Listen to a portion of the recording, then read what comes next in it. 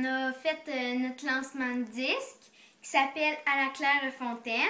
Euh, il est à 15 puis il se vend à, au musique, à l'école de musique des Cascades. Ensuite, on a fait le concert au Palais Montcalm ben, sur toutes les chansons du disque. ensuite, on, a chanté avec Marie-Mé. C'était vraiment une, très belle expérience. Et bientôt, nous allons aller à Kamouraska.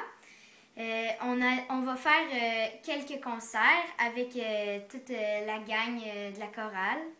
Puis pour ceux qui sont intéressés aussi, on peut faire des auditions.